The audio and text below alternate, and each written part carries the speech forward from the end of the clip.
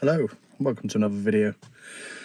So, no B-roll today, no footage of me talking to camera, apart from this little bit. Um, and there's a reason for that. Is I vastly underestimated the weather today. Uh, they gave scattered showers and whatnot throughout.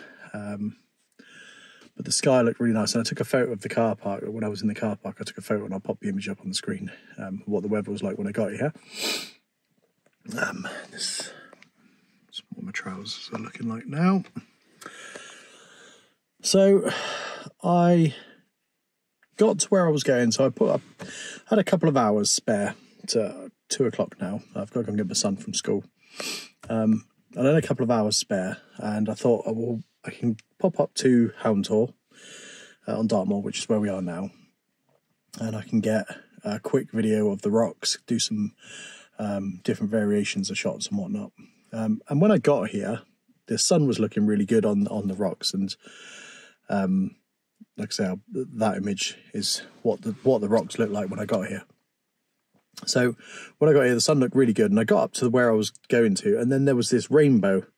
Now we know, obviously, with a rainbow, there's rain, and I kind of looked by the way the clouds were going, it kind of looked like it was coming towards me, but it also looked like it was going to miss me. So I got a bit carried away taking photos of the rainbow, and before you know it,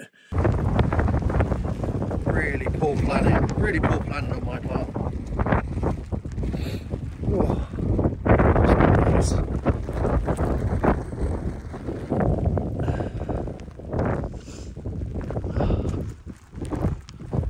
The rain had hit me and it just absolutely hammered down. So I had to get back to the car as quick as I can. I'm soaking wet. So I'm going to head home. But um, yeah, I'll pop the images up. I got quite a few images of the rainbow and I, I took some pictures of the rocks whilst I was walking around before I was going to set up my gear. Um, so I got a few pictures and I'll pop them up on the screen. Um, but yeah, that's uh, uh, that's that's the message today. It's just uh, don't uh, don't underestimate the weather. I guess plan for the worst. Um, and I took the other car today as well, and all my waterproof stuff's in the car. Although I would probably wouldn't have worn it up there to be honest, because I thought it was going to be okay. But yeah, so there you go. Um, yeah, hope you like the images, and I will catch you on the next one.